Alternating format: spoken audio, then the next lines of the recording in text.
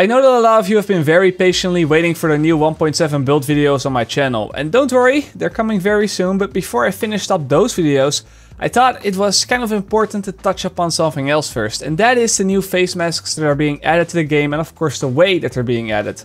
For those that don't know, patch 1.7 is coming with a new vanity item type in the form of these full face masks that of course do not actually increase the player stats but will still be pretty desired by a lot of players simply because they look cool and people want to look cool. The only way to currently get them in the game is to place yourself high up on those global event leaderboards through grinding out the global events. And as far as I understand it, the leaderboard is broken up into three tiers. Players in tier 1 will receive one of those face masks, then the players in tier 2 will receive two of those face masks, and as you might have guessed, players in tier 3 will get all three face masks in the game. And again, other than that, there's no other way of obtaining the masks in the game at all. Now, to place yourself into a higher tier, you need to get a certain amount of global event tokens per hour. I'll dive a little bit deeper into how this works exactly and why it is also a problem for the game very soon in this video, but what's important to keep in mind for now is that only a certain amount of players are allowed to be in these leaderboard tiers. I don't have the exact numbers, so I could be a bit off, but uh, from what I could gather is that the top 50% of the player base will be able to place themselves in tier 1 or higher, which means that they get one of those masks. Then above that, around 10 to 15% of the player base, again, I don't have the exact numbers, will be able to place themselves in tier 2, which then gives them two masks, and then only the top 2 or 5% of the players will be placed in tier 3, granting them that last mask as well. So yes, that essentially means that the bottom 50% of the player base will not get a mask at all, in any way, ever. And at the bottom 95% of the player base will never get access to that face mask that is tied at tier 3. Now the reason why Massive has chosen to go with a system like this is, I guess, because they wanted to reward performance. You know, whoever can farm the fastest will be given a special reward for their dedication to the game, which they can then show off to other players to kind of stroke their EP and other everyday division things. As you can imagine, this decision has brought up quite a discussion. On one side, you obviously have the players feeling sort of left out because, you know, they got 4 jobs, 12 kids, 7 wives, and they can only play the game every 5th week of the month, which yes, I'm kind of making fun of them now, I'm kind of making fun of that argument, but hey, they actually, they do have a point. You have these new cool vanity items, which could potentially be a reason for players to log on and check the game out in the first place, but then instead of actually giving them the opportunity to grind those things out, they are getting no chance at all to ever get those items. And then of course you also have the other side of the spectrum. You have guys like me who are essentially glued to the desk that could potentially say,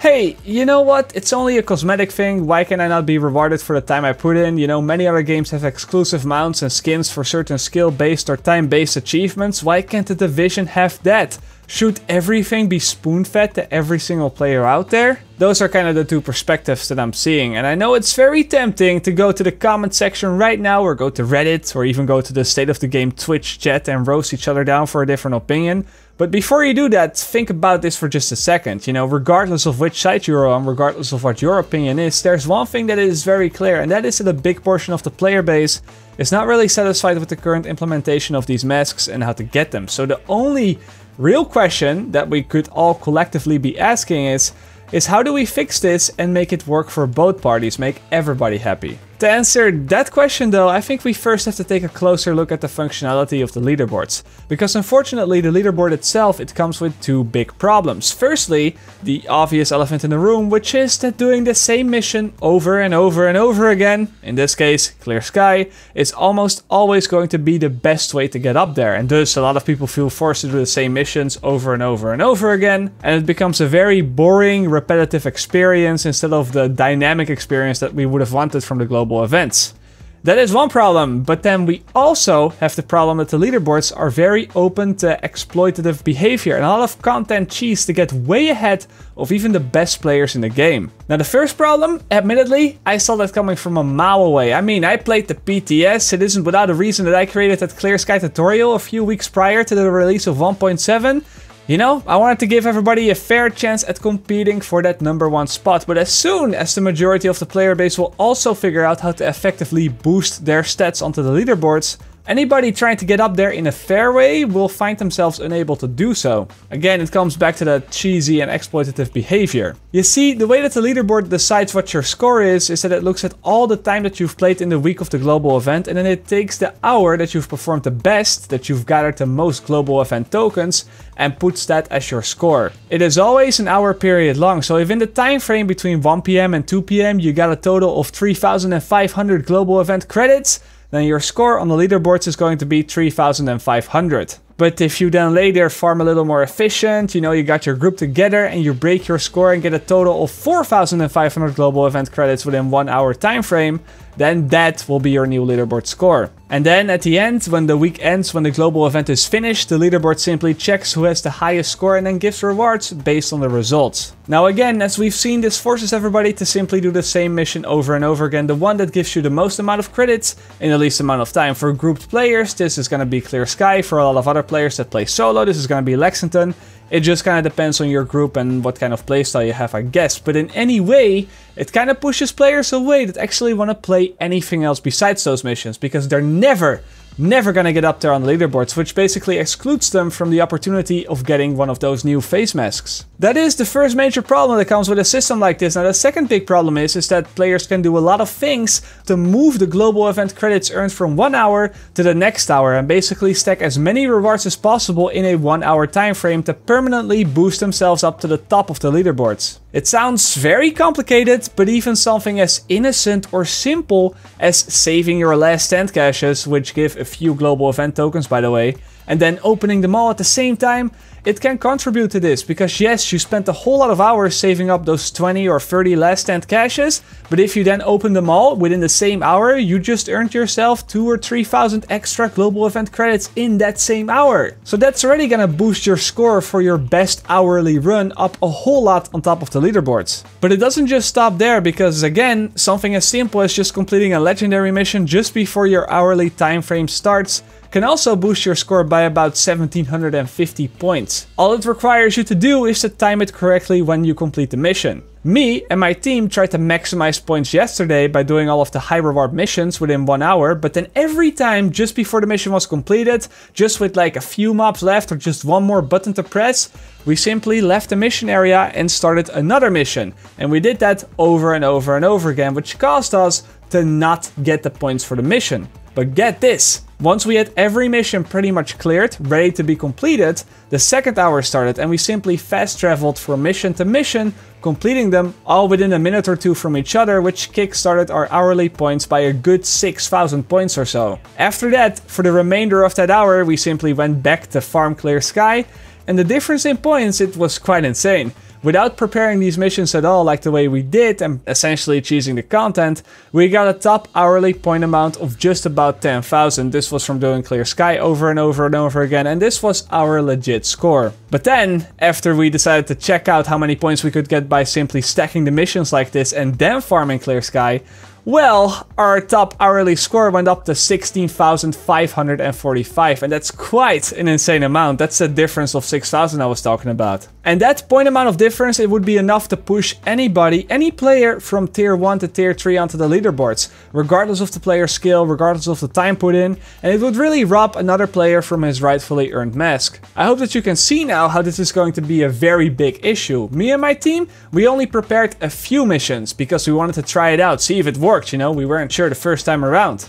But if you go full tryhard mode at this, maybe get some friends to invite you at the end of the missions, like set everything up perfectly, you could boost yourself far past the 20,000 score mark on the leaderboards. And I guess some people have caught on to that as well, as we can see right here. On top of that, and this is also a PC specific issue, but I'm pretty sure that some of the people on this list are also hackers having a pretty insane high score on here, but only having a few days or even a few hours of playtime in some cases. And you could just say, oh, who cares about the exact rank, who cares about number one, as long as you're in the top whatever, as long as you get all the masks, you know, it's fine. But in this case, it really is not fine, because each tier only has a certain amount of player spots.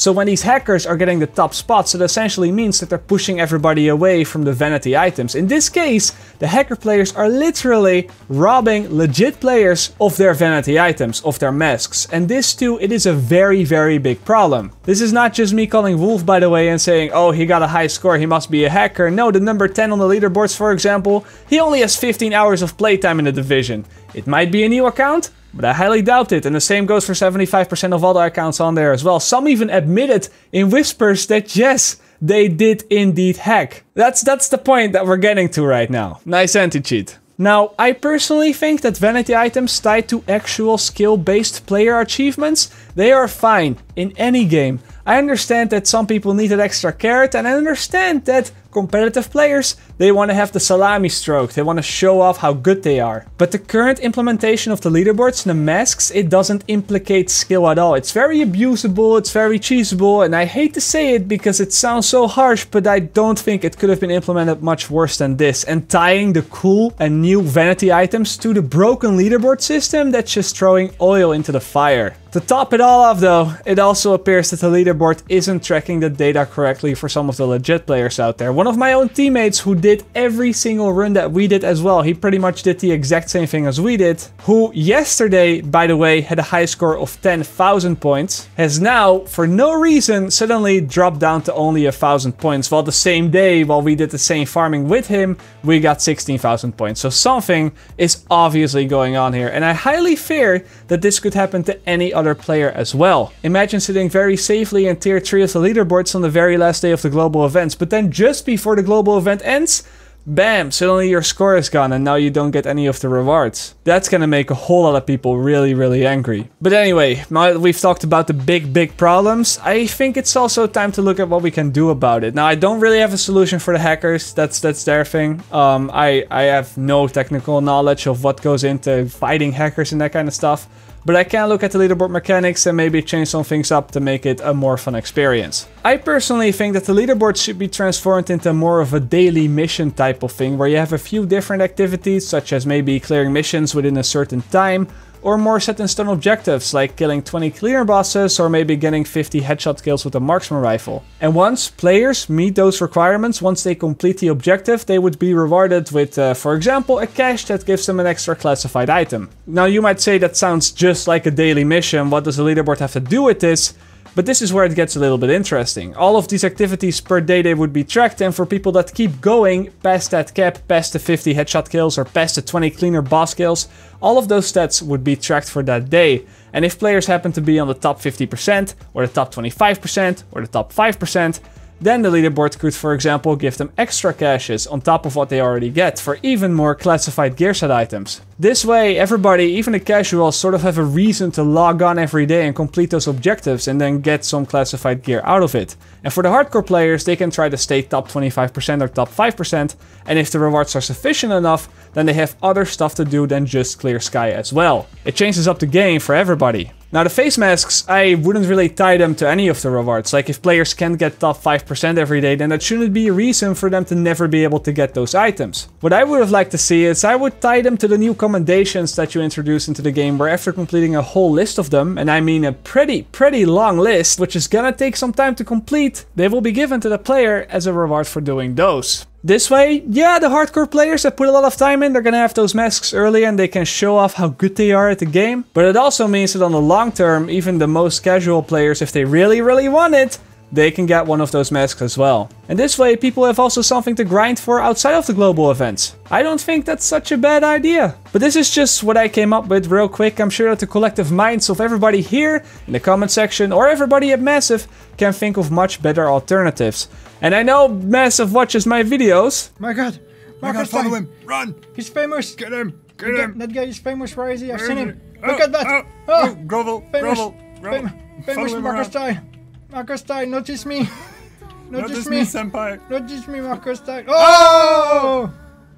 So fucking rude. No, that was rude. Those YouTubers That are was so fucking yeah, arrogant. that was not okay. They have no that was not respect okay. whatsoever for the like the small people like us. So yeah, please look into these things before the next global event goes live and pull back the mask rewards from the current one Because honestly, these top spots on the leaderboards, they're not earned in a fair way. It just promotes cheating, exploiting, hacking, that kind of stuff. And it would be really backwards to reward those players with some exclusive shit that no one else can get. That's gonna send a weird message. anyway, that's going to be all for today. Let me know what you think, and as always, I will see you guys later, or like they say in the Netherlands, zie je later.